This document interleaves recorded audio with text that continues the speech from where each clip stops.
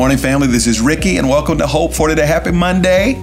Come on, guys. It's a brand new week, and I'm feeling Jesus, and I'm just so happy about the Lord and what He's doing in our lives. Come on, guys. It's a new week. Come on, act like a thing is so, even though it ain't so, in order that it might be so, because God said so.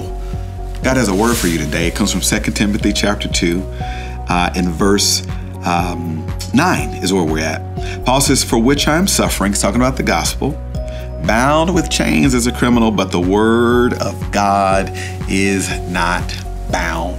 The word of God is not bound. The word of God is not bound. Ever feel like moments where you've been tied up and you can't do anything and you're just walled up into a hole and the only way it's to work out is if God decides to just show up and show out? Can I get an amen right there? Uh, there's these seasons and these moments in our life whereby we're bound. Our words are bound. Our influence is bound. Our money is bound, right? Our, um, our, our opinions are bound.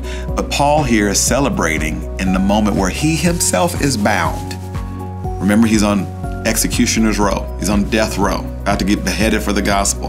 This is the last of his life. But he's rejoicing that even in this season where he is bound, the Word of God is not. I remember my first sermon, November 15th, 1998.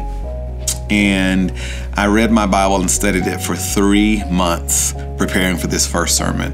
And I didn't read the whole Bible in that three months, but I read a good two thirds of the Bible. And I'm just trying to be faithful. My church was training me and preparing me. And I was to preach on a Sunday night.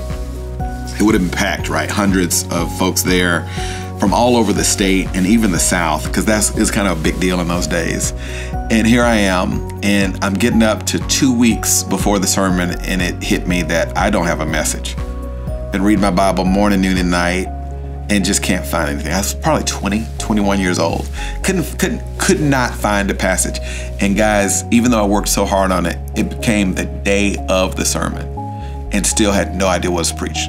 It's true story nervous as a house cat in the river, nervous as a hooker in church. I mean, I had no idea what I was going to preach. And we get to that Sunday night service, and me and my dad, my dad's a pastor, and we're kind of pacing the floor.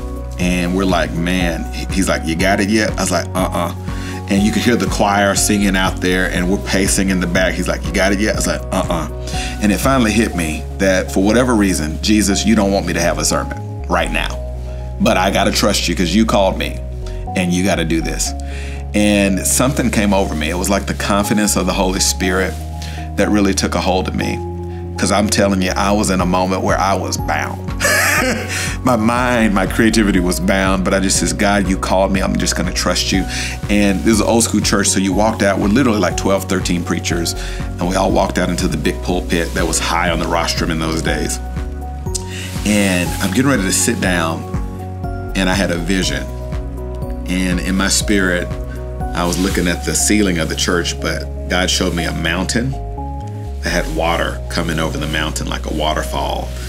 And I'm, you know, it's gonna sound a little mystical, gonna sound a little weird, but whatever. But I saw a passage come off the, the mountain, and then I saw three points a new dawn, a new fire, and a new you. And I preached from the dedication of the temple. I think it was First Chronicles our Second Chronicles. And 99 people gave their heart and life to Jesus Christ that night. You know why that happened? Because the Word of God is not bound. That God uses broken sticks all the time to hit straight targets. And you may feel like you're in a moment where you're bound and that you're as good as a broken stick. But if you stick to the Word, God can still use you and bless you and move in your life because the Word of God is not bound. That's hope for today. I'll see you next time.